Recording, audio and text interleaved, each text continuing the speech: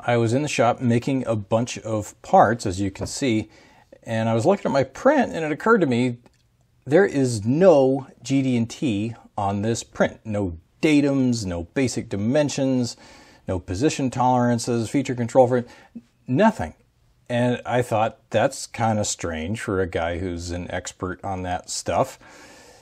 And I thought, you know what, I should make a video about this, why I'm not using any GD&T on these parts. Because you might be working with somebody who says you have to have it on every print under all conditions, and that's just not the case. So let me go over this. When anyone brings me a print and says, is this print correct? First thing I ask is, what is the part used for? What are you going to do with it?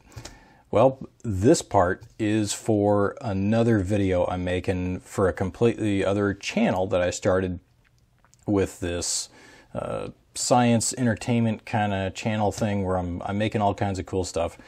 I've already got a couple of videos up I'm really proud of.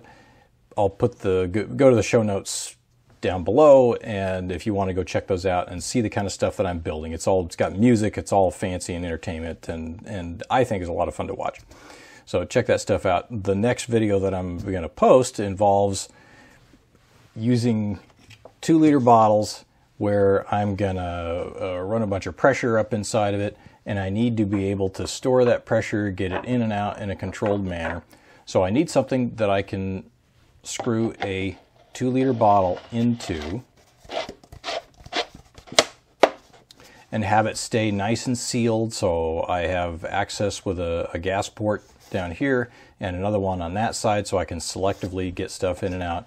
And I'm doing a bunch of them I've got a bunch of bottles this, this it's gonna be a lot of fun so that's what it's for and you can see that's actually, a, I'll have hoses and fittings and all that stuff attached to it. So if that's what I'm, that's what I'm doing, then we know that we have to have a thread that is going to fit the bottle. So I'd take all these measurements of the thread and put that into, that was, in fact, that was the first thing that I put into the block. So in order to get that thing to seal right, so I've, I've, there's a bore that the seal is in. It's got to be the right size.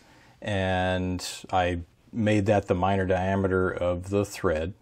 And then the thread has to, of course, be, if you think about the position of things, you want that bore that the seal is in and the, the V of the thread, the helical path of the thread, to be concentric. And yeah, I could call that out, make one of them a datum and the other one be position. But honestly, it's really not that critical. It's a plastic bottle that's going to flex a little bit as long as I make it big enough for all of the bottles to thread in and fit.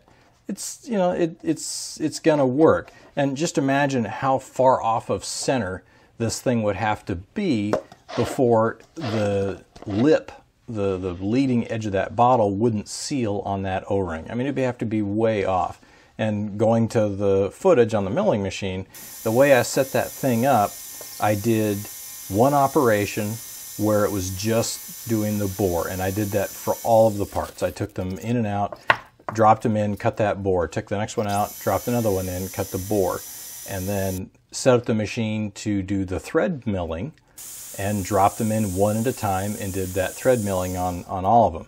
Now, okay, how concentric are those things going to be? How aligned are those things going to be? Well, you'll notice each one of these parts has a little black dot on the end. And if you see in the footage, when I was first putting those into the vise, I put that little black dot to remind me which side was getting set up against the stop on my vise. So, because you can imagine if this part isn't exactly to length, and I'm making this bore a certain distance from that face and then I put it in there to do the bore one way and then I when I pick it up to flip it around the other way it's going to be a different distance from that edge and the inconsistency in the length is, is going to throw that around. So just by knowing that if I put it in the same way each time, it's going to be as accurate as the machine is capable of, just automatically makes those two features as concentric as the machine can can make it. So that's another one of those. Could I have called this out as a datum and this bottom surface as my primary, uh, secondary on the back, and then tertiary on this face, and and made it marked it in some way on the print? Yeah, I could have, but that would have taken a bunch of time to do. And I knew what these were being used for. I knew the design requirements and I'm making it the whole way. So I just know as I'm building it, okay, this will be fine. And I mark it to be made that way. Now, as far as the depth, you know, that machine, it's a milling machine. It's capable of hitting that depth probably to a couple of thousandths. This is a big squishy O-ring and ultimately I have the bottle seating up against that O-ring when you're tightening it in just like a garden hose on the front of your house. You're, you're tightening it down. The resistance comes when you begin to run into that O-ring and I'll just tighten it till it's snug where it compresses the O-ring and gets a nice, uh, a nice seal. And finish, yeah, I could have called out the finish, but guess what? At the bottom of that, with a running a nice end mill in there, it left a very nice finish in the bottom of each of these holes, and it's going to seal just fine for what I'm doing. No need to call that out, take the time to put it on the print. Now these uh, gas holes, you'll notice that are in the bottom are size. I just picked something. In fact, I picked something that was the same size as the mounting holes. I wanted the option of using a quarter inch bolt, so I picked a hole that was slightly bigger than a, I think it was 263. So it was bigger than a quarter inch bolt and said, you know what, I've got that drill out. I'll just make these uh, gas holes the same size. And hmm, how far off center do I make them? And just when I model it up in CAD, I just looked at what would make sure it wasn't going to be undercutting the O-ring, you know, interfering with the seal on, on the bottom. And then the holes not interfering with each other, although that may not be a, a really big deal in the design. So when I made those holes, I went ahead and used a center drill to locate them really precisely and then came back with the, with the drill because it's a long skinny drill. But again, what are the consequences of being out of position by even 20 thousandths or 30 thousandths on these holes? It's not really going to change the design much as long as there's a passage there for the air and water to get in and out. It's going to work. It's going to be fine. So lined up and, and did that operation on all of them as well. Uh, let's see, so the threaded holes where the fittings are going to go, pretty much the same thing. How far off, given that diameter, that thing would have to be, I don't know, a couple of millimeters, eighth of an inch or something off before it ever really seriously started to affect the flow. It's not like I'm uh, requiring this thing to have a certain flow rate to meet a certain time or, or anything like that. So it could be one way or the other. It's not a big deal. And that's why when I made these, yeah, I I started on the one side with the black mark up against the stop on the vise, but when I went to the other side, you'll see I just flip it over and drill it. And so if even if my part length was off by an eighth of an inch and everything was made a, a fixed distance from that I will say datum surface here, you can imagine, say, if it was even an, an eighth of an inch off, it's still going to do its job. And I know this was uh, this was bar stock dimension on the outside. I split the difference. That's probably made to a thou or two, especially when these all came out of the same piece of bar stock. So another piece of knowledge when you're making these things, designing it yourself, making it yourself, and you're the end user, you can look at the stock you've got around and make judgment calls and go, yeah, this this will work just fine. And yeah, do they work? Yeah, it works great. When I thread this thing in here, I can pressurize one of the hoses and the, uh, make sure I get that thing fully seated. Oh, it was going in just fine. Uh, yeah, I can pressurize one of these and block the other and it, it holds in air. I mean, we'll find out when I hit it with 100 PSI and start doing all kinds of stuff with it, how, how good the seal is. But yeah, it looks like it's going to work just fine. So to recap, this is kind of like one of those, you, the, the Jeff Foxworthy's, you might be a redneck if, well, you might not G, need GD&T if You are the designer. You designing the part. You are the manufacturer. You are building it. You are inspecting it, and you are the end user. You have everything. It's a closed loop within you. Then yeah, maybe you don't need the GD&T because you're able to make trade-offs through the entire process and as you're making it and you're running because i had little goofs when i made these things like hmm can i live with this little uh, error in the in the thread that i had because i had an issue with my boring bar yeah, I just checked the fit. Yep, it works just fine. I, I can make those calls without having to ask any questions or need something referenced on the print. Uh, this is probably the most important one. You might not need GD&T if your equipment is far more precise than the design requires. So in this case, yeah, it's an old milling machine from the 1960s, but it's capable of hitting a, a thousandth or two or a couple hundredths of a millimeter day in and day out. It's no problem.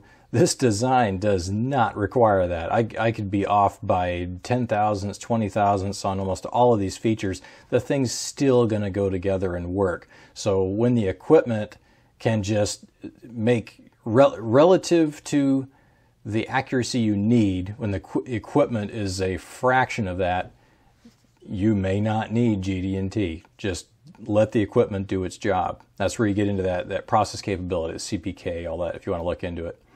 Um, you might not need GD&T if you are aware of all of the critical features and can address those as you're going through it. You don't need to be told by the print, oh, this is a plus or minus one, this is a plus or minus two. Ah, uh, you just need nominal and you can control it with the process.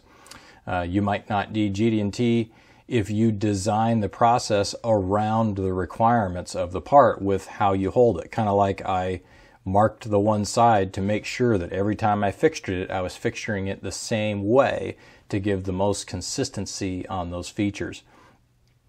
Um, you might not need GD&T if you really don't even have another option that would be any better. So let's say that milling machine wasn't good enough. Uh, I mean, I could, I guess I could make it on, try to chuck this up on my lathe and do it, but I, I don't want to. So if the mill isn't good enough, I don't have another option to go to. So I'm just going to make it work with this process. And if there was a call out on here that said I had to hit to a half a thou position, I'm like, well, too bad. That's not, I don't have that as an option. Uh, and you might not need GD&T if it's just a prototype that you're building to see if the thing can work. You're just testing it out, finding out what the bigger issues are, and if it's easy to do and quick for this prototype thing, and it turns out that when you try it, it works, hey, I guess I didn't need the GD&T. So advantages of doing it this way, you can tell instantly when you're working on a part whether it's scrap or if it can be used. I just like, whoops, I messed up something. Can I still work on it? One of these had a, I touched a spot. Uh, there it is right there. I accidentally was was uh, got my axes mixed up as I and made a little mark in the back. Doesn't matter. That's just the surface it's going to be mounted on. So I knew that instantaneously that uh, that it was a, still a good part that it could be used, even though that was frustrating. Uh, another advantage: I don't have to waste extra time going over the print with every nitty gritty little detail that somebody might need to know. Um, uh, like I said before, I don't need to. I don't need to ask questions of what will and won't be okay because I'm the all the way from the designer to the end user. I can answer those questions on the fly. No finish callouts, and hey, no work instructions either because I'm not having to pass that knowledge on to anyone. It's all right in the person making it. Now, disadvantages of not putting all those details on the print, and there are plenty, and they are substantial no one else knows how to make this thing. I doesn't matter how skilled the machinist is or tool and die maker. I bring him into my shop and say, "Yeah, make that." And they go, "Uh, what do you need?" They're basically going to be forced to make all the dimensions as perfectly to nominal as they can because there's no real indication of how far off of center that they can go. Uh, let's see what else. The this doesn't scale well. I can't farm it out. I can't say, let's say I make that video and somebody calls me up says, man, that's fantastic. I want 10,000 of those for my entire school district. can you, how much do you want for them? Like, uh, I can't farm, I mean, I guess I could farm this printout, but the confidence that I would have in actually getting what I need would be kind of low unless I know the people and I worked at that shop and I maybe give them a, a, a handshake of, yeah, just follow plus or minus this and you'll be fine. But then we're violating the idea of the print. Every, the idea is everything's supposed to be on there so I can just send that print out. I don't have to talk to the person and it's, it's all met. So the way it is, I, I can't do that. And last but not least, if I have to go make more of these, let's say a year down the road, I want to build more of them, I have to remember all that stuff. I have to dig through this design and and maybe figure it out as if it were the first time again. Let's see what how important is this depth? How important is that thread? How loose did I make it? Whereas if it were on the print, I wouldn't have to ask that question. I can just follow, you know what, when they were made to print before, they worked and everything is locked down. It's a fully constrained design and it gives me confidence that I can just jump on it and build it to print. But for what I'm doing, for the quantity that I'm handling, it's it's a lot more fun. It's a lot quicker for me just to jump on it, build them up, and rely on a combination of the knowledge of what my equipment is capable of and what the the really low design requirements are for this. And for the few features like where the O-ring sits and everything, like, yep, I just intuitively know that it's going to be able to handle it. Now, something I want to address is that uh, supporters of this channel, people who have donated, uh, made a separate donation, or purchased a study guide off of my website were the first to get this video. They got it a week ahead of everybody else. And thank you again to those people who have been so generous with this channel. I don't think I would be able to continue doing it like I have uh, without those. If you want to be part of that group to get some of these early releases and help support the channel, uh, look in the show notes. You can find where you can donate, or yeah, go download that study guide. I put a ton of effort into it. Even if you just peek at it and go through and, and get a cursory view of it, I'm, I'm sure you'll benefit from it. So uh, that's all for now, and I'll see you in the next video.